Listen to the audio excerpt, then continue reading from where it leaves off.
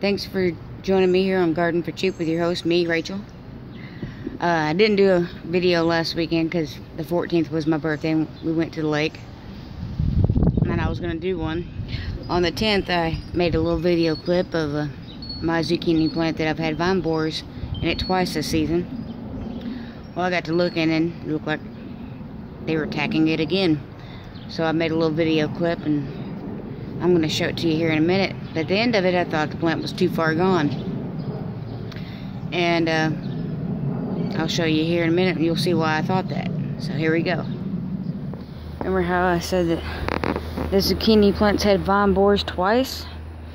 Well, I ain't mistaken, but I think it has it again.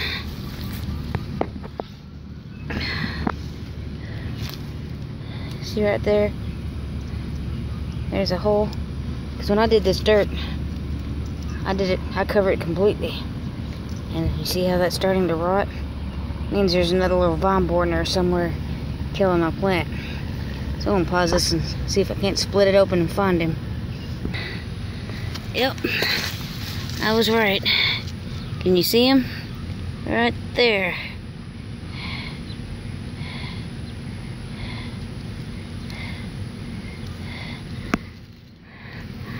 I'm gonna get him out and kill him and pack this full of mud and see if we can save this plant again for the third time. You know what they say, third time's a charm.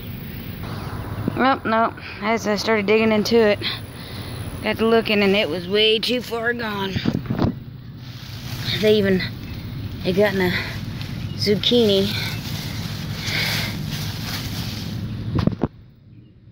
So I had more than one thing attacking it. Ended up finding a couple of them.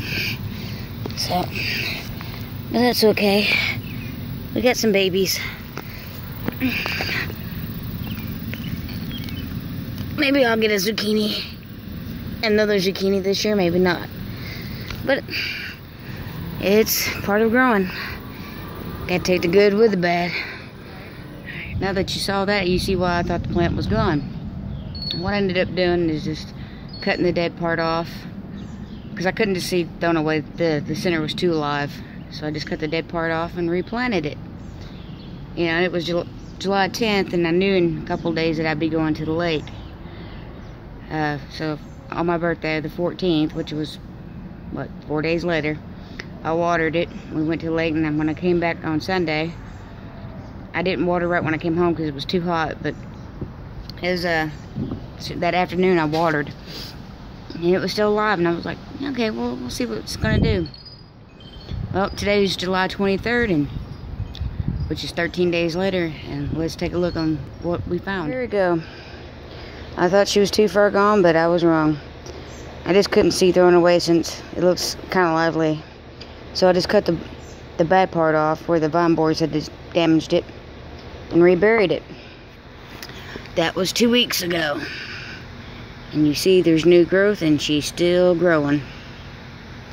Pretty amazed.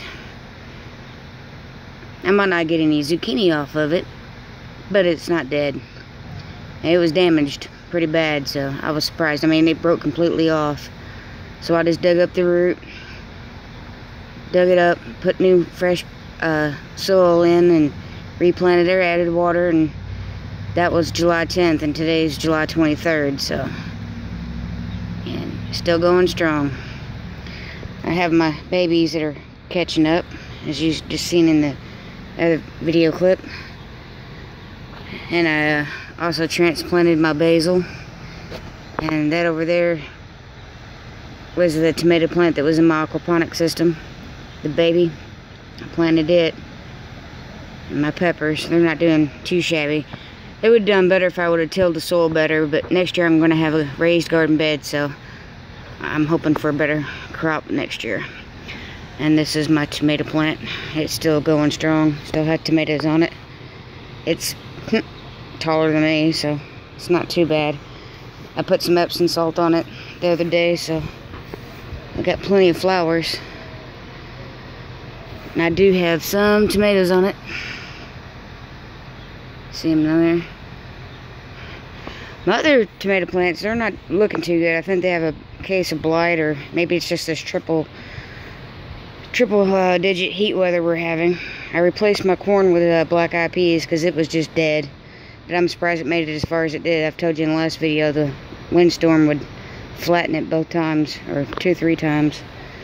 My onions and garlic are just about ready. They're not super huge, but considering they're not too bad.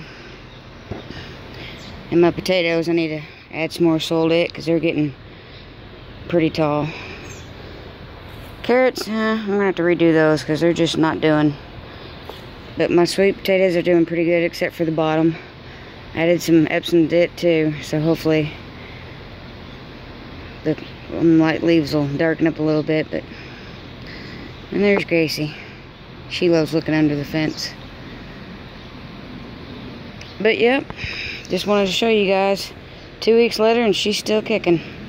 Pretty amazing. Plants are pretty resilient. Now if I can just uh, do something about these vine borers, that'll be really good, huh? There you go. Things still growing. Anyway, I'm gonna just let it go and see what it produces. Next year, I've done some research and there's some companion planting and it's gotten good reviews and or mixed reviews. Some say it works, some say it don't, but I'm gonna try it.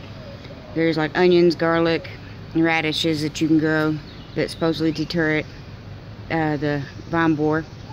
Uh, this, there's another lady that I was watching her video and she had success using uh, cucumbers, growing her cucumbers right next to her squash or and her zucchini. And I'm going to try that. There's also, I've read uh, traps like yellow sticky tape or a bowl, a yellow bowl of Dawn water because I guess the yellow kind of represents the, the flower of the, the zucchini plant and the squash plant. Anybody who's ever raised any kind of squash or pumpkin or any of that, they all kind of basically have that beautiful yellow flower. But next year I'm going to be doing a raised bed, so I'm going to map it out and I'm going to try to have the zucchini on the inside and the cucumbers and the radishes and the garlics on the outside. Not Try not to crowd it, but you know what I mean. Anyway, well, I'll video and y'all can follow along with me on that. But anyway, I'd like to go ahead and end this video saying thanks for all the birthday wishes. Really made me feel special. It's probably one of the best birthdays I've had in years. And the lake was gorgeous. And um, God bless, peace, and if you like this, give me thumbs up, subscribe, and have a good one. Have a great weekend.